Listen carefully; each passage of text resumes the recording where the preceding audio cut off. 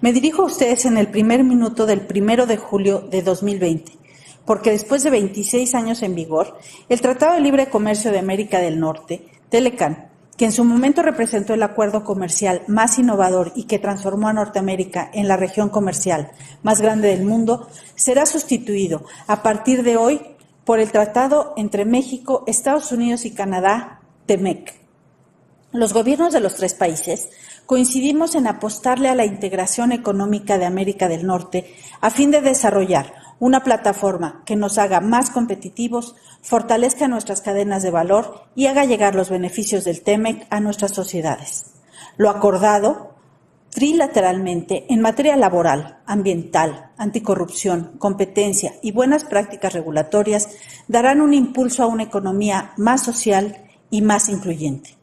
Además, el TEMEC contiene reglamentaciones en relación al comercio digital, las MIPIMES, competitividad, así como administración aduanera y facilitación comercial.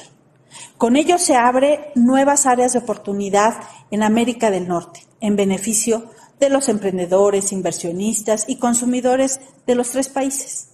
Para el Gobierno de México, el TEMEC representa la consolidación de nuestros esfuerzos por avanzar en la inserción de nuestro país en las cadenas globales de valor y para posicionarlo como un centro exportador de vanguardia.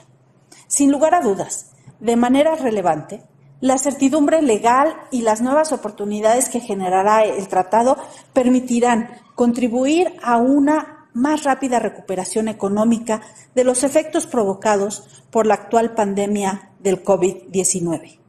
Como lo ha reiterado el presidente López Obrador, el TEMEC será una palanca para el desarrollo y bienestar de todos los mexicanos. Muchas felicidades a México, Estados Unidos y Canadá por el nuevo capítulo que hoy se abre en nuestra relación.